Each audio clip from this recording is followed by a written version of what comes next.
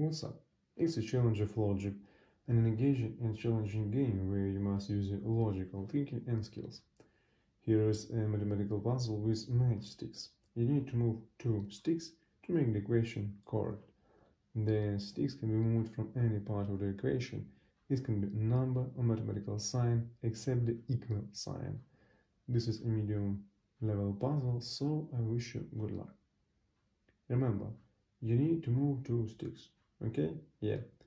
Now you can pause the video to think about ways to solve it and I'll show you the right answer. To make it, you need to do like this. One here and here. Now we have right equation and the puzzle is completed. Write your solutions or other ways to solve in the comments. Send this video to your friends, let them think about it too. Subscribe and enjoy. See you!